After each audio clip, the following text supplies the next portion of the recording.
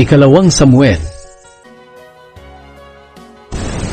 Si David at si Mephiboset Ikasyam na kabanata Isang araw nagtanong si David, May natitira pa ba sa sambahayan ni Saul na maaari kong pakitaan ng kabutihan alang-alang kay Jonathan?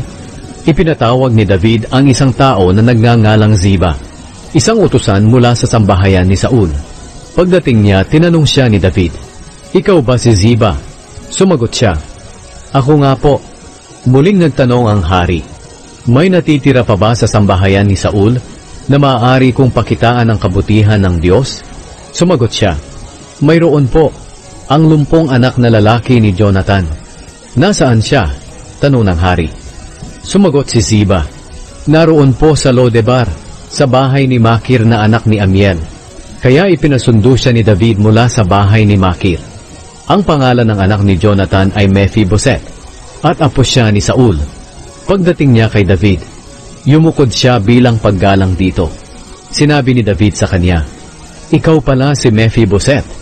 Sumagot siya, Ako nga po. Sinabi ni David sa kanya, Huwag kang matakot.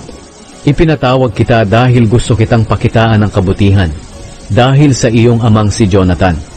Ibabalik ko sa iyo ang lahat ng lupain ng iyong lolong si Saul. At hindi lang iyan, dito ka na palagi ang kakain kasama ko.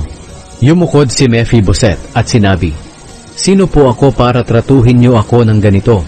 Gaya lang po ako ng isang patay na aso. Pagkatapos, ipinatawag ng hari si Ziba, ang dating utusan ni Saul at sinabi, Ibinigay ko na sa apo ng amo mong si Saul, ang lahat ng ari-arian ng kanyang lolo.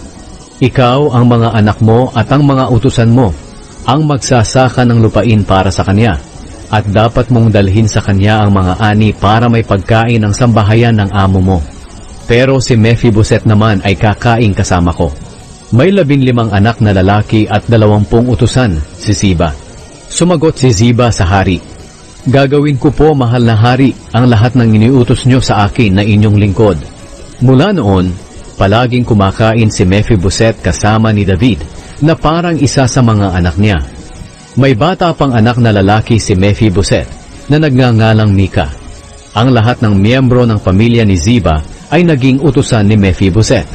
At si Mephiboset na lumpo ang dalawang paa ay nanirahan sa Jerusalem at palagi siyang kumakain kasama ni Haring David.